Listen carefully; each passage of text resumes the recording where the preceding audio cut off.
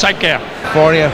And here he is, This kid really is, but he's absolutely toned to perfection. championship contest. He's uh, Swaziland, Greg Scott Briggs from Chesterfield, weighed in at 13 area, and British Masters light in Los Angeles 17 days ago.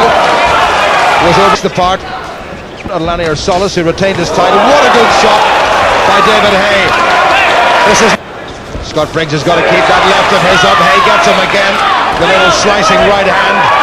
Like he's not going to beat the count. No, he's not. Sword, he's got talent in abundance, and he's already rated, I think, in the top 10 in the country.